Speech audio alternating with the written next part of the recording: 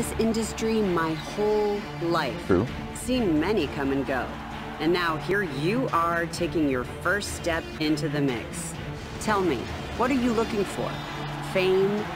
Glory? Prestige? What kind of a general manager will you become? Have you thought about that? Will you be a fair and balanced overseer? Or maybe you'll rule your roster with an iron fist? Either way, one thing you need to do is make impact. I didn't start my career in the WWE as a general manager like you're Rosy about cheeks. to. I had to earn my spot through years and years of dedication to this business. But you, you still have so much to prove. You would not have been given this opportunity if we didn't see your potential. You must understand, 200 plus days a year we're on the road to entertain the WWE Universe. Some careers are long, others aren't quite as lucky.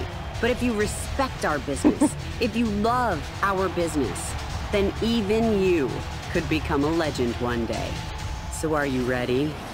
It's time to prove you deserve this chance. An opportunity that you can't let slip through your fingers. You must earn it. You must pay your dues.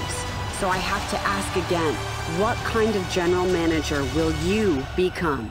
Let's see if you have what it takes to be my GM.